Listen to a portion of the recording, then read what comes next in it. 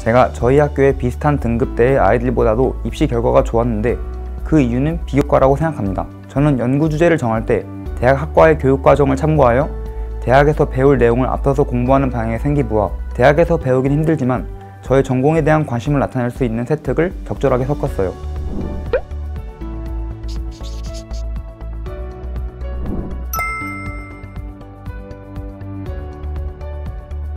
안녕하세요. 러셀 평촌에서 고3 썸머스쿨부터 공부하여 고려대학교 데이터과학과에 수시 학생부 종합 계열적합형으로 합격한 김상준입니다.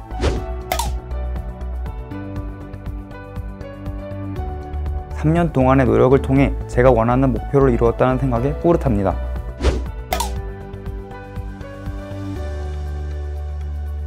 러셀 학원은 제가 시간표를 자유롭게 짤 수 있어 저의 상황에 맞게 자습과 수업에 시간을 분배할 수 있다는 점이 좋았습니다. 그리고 혼자서는 공부를 안 하는 성격인데 러셀 평촌은 최상위권인 전교 1, 2등 학생들이 오는 학원이기에 주위에 열심히 공부하는 친구들을 보며 공부할 수 있을 것이라 생각하여 선택하게 되었습니다.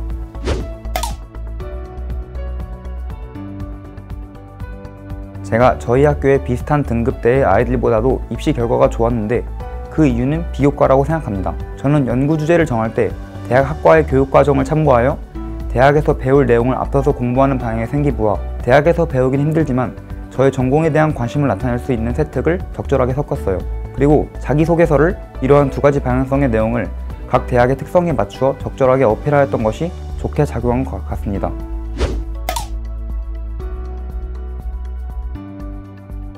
저는 수시 최저 등급을 맞추기 위해서는 등급 컷에 걸리지 않는 확실한 실력이 있어야 수능 당일날에 생길 수 있는 문제에도 최저 등급을 맞출 수 있을 것이라고 생각했습니다. 그렇기 때문에 저의 최저 등급보다 더 높은 기준을 맞추고자 하였고 영어나 국어, 수학 등 적어도 두 과목을 안정적인 1등급으로 만들고자 하였습니다.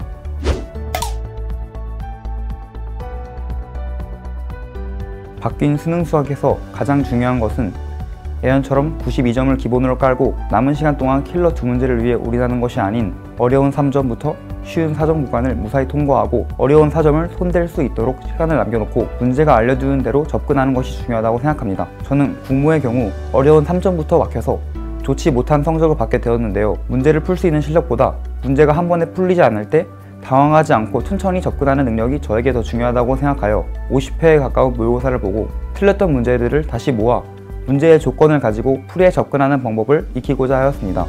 그 결과 이번 수능 수학에서 100분인 98을 받게 되었습니다.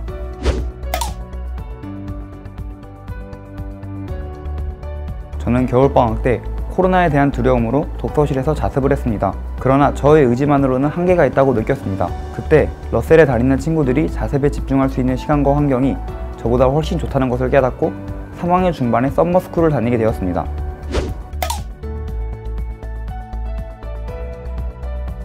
제가 입시에서 가장 두려워한 것은 잠이었습니다. 매일 아침에 일찍 일어나는 것이 힘들었고 독서실에 가더라도 자주 졸았습니다. 그러나 러셀에서는 졸 때마다 깨워주실 수 있는 담임 선생님들이 계셨고 정해진 시간에 맞춰 일찍 일어나는 것을 습관들이기 좋았던 것 같습니다. 이러한 습관은 수능 한 달 전부터 생활 습관을 수능에 가장 적절한 상태로 맞추는 데 도움이 되었습니다.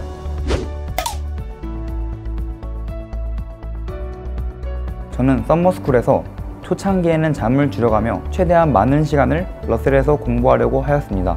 그러나 장기적으로 공부를 해나가며 제가 할 수 있는 한계를 명확하게 인식하고 그 한계를 향해 다가가는 것이 최선이라고 느꼈습니다. 앞으로 대학에 가서 공부를 하고 인생을 살아가는 데 있어서 제가 열심히 살아가야겠다고 느낄 때 그 최선의 기준을 러셀에서의 기억으로 삼으면 무엇을 하든 좋은 결과가 있을 것이라는 생각을 하게 되었습니다.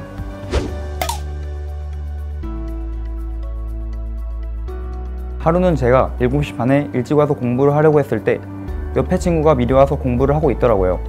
그럴 때, 아, 저 친구보다 더 열심히 공부해야지 라는 생각으로 최대한 오래 앉아서 공부를 하려고 했어요. 그렇게 되면 열심히 공부하는 제 모습이 또 저를 보는 다른 학생에게도 자극이 되고 이런 모습들이 또 다시 열심히 할 원동력이 되는 부분이 좋았습니다.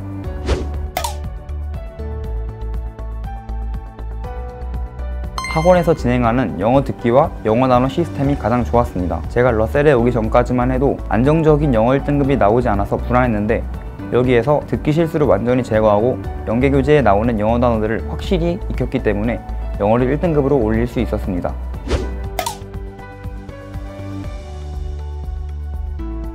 담임 선생님의 가장 좋았던 점은 심리적으로 기댈 사람이 있다는 것이었어요. 학원에 궁금한 게 있거나 입시에서 궁금한 점이 있을 때 가장 먼저 담임 선생님을 찾아갔던 것 같아요. 그리고 담임 선생님이 여러 학생을 보면서 자신에게 가장, 가장 객관적인 판단을 해줄 수 있다는 점이 좋은 것 같습니다. 담임 선생님께서 저에게 조언해주신 수시 카드들이 저에게는 너무 위험한 판단이라 생각되어서 수시 지원을 조금 하향까지 잡았는데 후에 보니 선생님의 판단이 더 적절하다고 생각했습니다.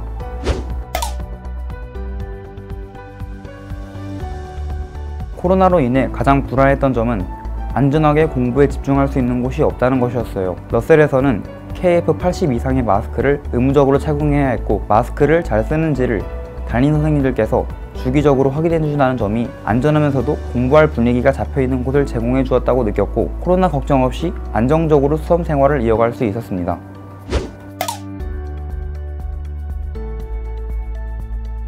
국어 실력을 올리기 위해 노력하다 보니까 더 국어 푸는 양을 늘리고 열심히 하려고 하면 할수록 점점 문제도 안 풀리고 기본적인 문제들도 틀린 적이 있습니다. 그럴 때 너무 집착하지 않기 위해 선택 자습인 일요일 날에 집에 일찍 가서 다시 한번 목표를 점검하고 남은 100일간의 계획을 세운 적이 있습니다. 다음날 다시 러셀에 아침 일찍 가서 차분하게 문제를 풀어보았더니 슬럼프가 극복된 것 같습니다.